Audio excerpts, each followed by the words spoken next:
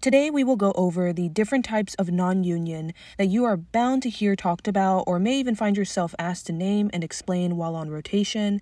So let's get right to it. A non union, in its simplest form, is when there is a halt in the fracture repair process that, without intervention, will not go on to heal. This can be secondary to a multitude of factors, which we will go over today. There are five types that I will go over that will help you better understand the lingo surrounding non unions on rotation. The types that we will briefly cover in this video are hypertrophic, atrophic, oligotrophic, and septic non union, along with pseudoarthrosis. First up, we have the hypertrophic non union. This will occur when there is inadequate stability or fixation. Hypertrophic non unions have good blood supply and thus nourishment, however, fail due to too much movement at the fracture site, which doesn't allow for proper healing. Since these do have adequate nourishment, you will see substantial callus formation, which you can appreciate here in this x ray. These are corrected with proper fixation, whether a revision procedure or initial operative approach. Next, we have atrophic non-union. Atrophic non-union occurs mainly due to inadequate blood supply to the fracture, whether due to a vascular or metabolic pathology.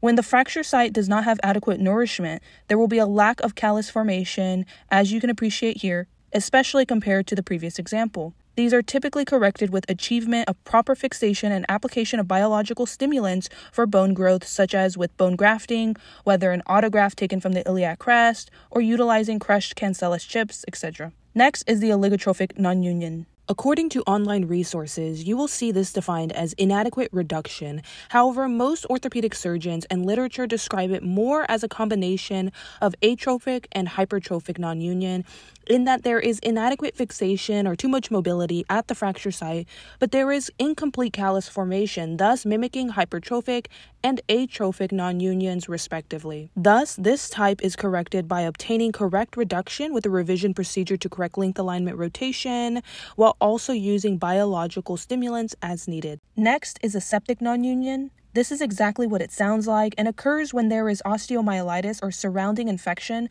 that limits proper healing of the fracture.